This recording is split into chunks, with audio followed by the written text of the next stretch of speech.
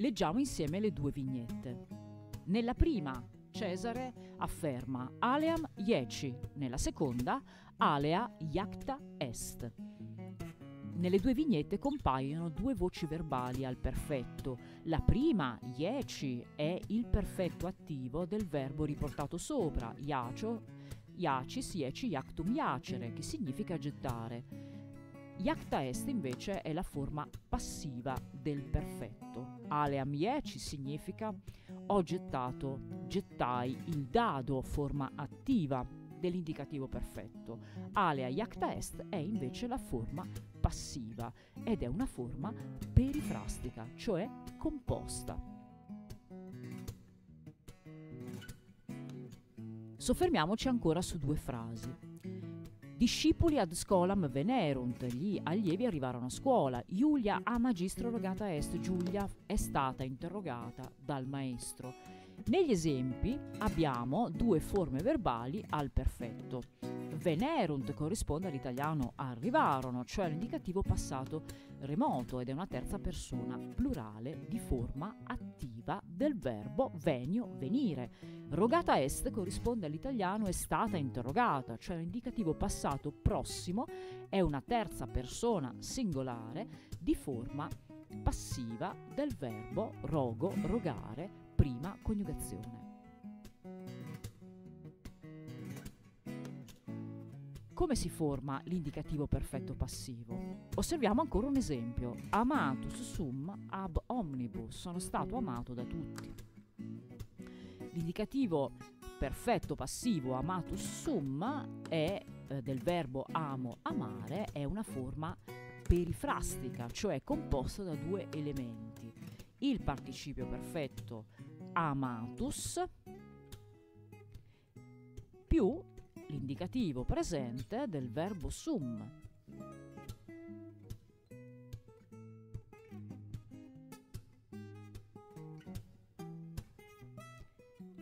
Come si forma il participio perfetto, che è fondamentale per costruire la forma passiva del perfetto?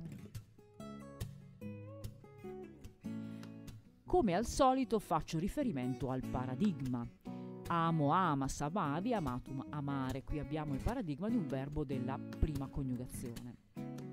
Quale delle voci verbali del paradigma utilizzerò per formare il participio perfetto? Il supino.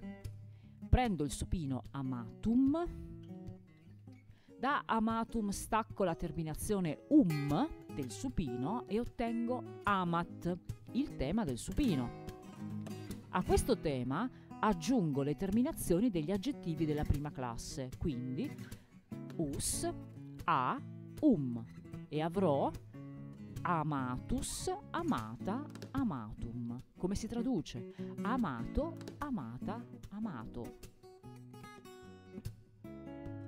Quindi è molto semplice formare il participio perfetto prendo il tema del supino, stacco la terminazione um e aggiungo le terminazioni degli aggettivi della prima classe, us, a, um per il singolare e i e a per il plurale.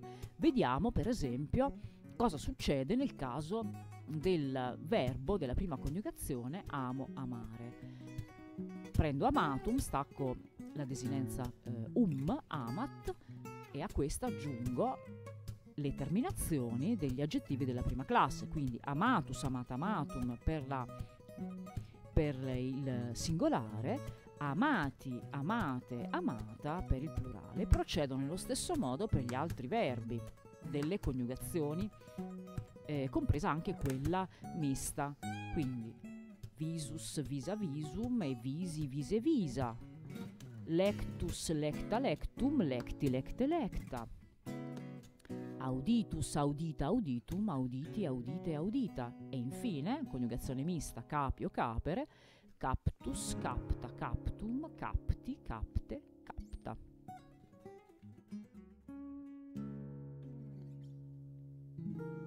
È importante evidenziare come il participio perfetto si declina come un aggettivo della prima classe in us a um e concorda con il nome a cui è riferito, in genere, numero e caso. Vediamo l'esempio. Vir amatus est, l'uomo fu amato. Amatus us concorda con vir, che è appunto singolare, maschile. Mulier amata est, la donna è stata amata o fu amata, è la stessa cosa, ehm, perché appunto il perfetto corrisponde sia al passato remoto che al passato prossimo. Amata, come vediamo, ha la desinenza A del nominativo perché concorda con mulier, la donna. Figli amati sunt, i figli furono amati, anche in questo caso il participio perfetto amati concorda con fili perché è nominativo plurale maschile. Dona amata sunt, i doni sono stati amati. Ha la stessa corrispondenza anche in questo caso. Amata, che è il participio perfetto declinato al nominativo plurale del neutro, concorda con dona, che è un nominativo neutro plurale. E la stessa cosa possiamo dire della famosa frase di Cesare, alea iacta est, quel iacta, che è il participio perfetto, di iacio, iacis, ieci, iactum iacere, concorda con alea, alea, ale, che è il dado.